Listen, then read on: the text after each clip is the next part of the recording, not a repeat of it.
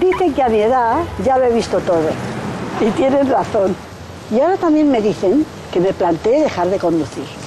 Yo me encuentro bien y aunque por responsabilidad me hago todos los años una revisión, igual ya toca que me lleven, por mi seguridad. Por la de todos, ponle freno. Juntos, sí podemos.